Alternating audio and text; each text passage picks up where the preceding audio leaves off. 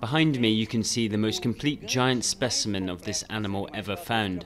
It's a Tropiognathus mesembrinus, which has a wingspan of more than 8 meters.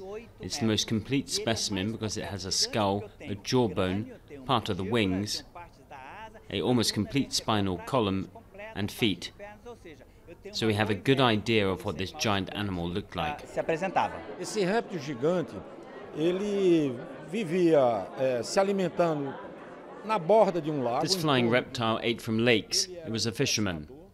But it had a weakness because its bones were quite hollow, and sometimes, when its wings hit the water, they broke and it fell. That's why we find a lot of fossils at the bottom of these ancient Cretaceous lakes.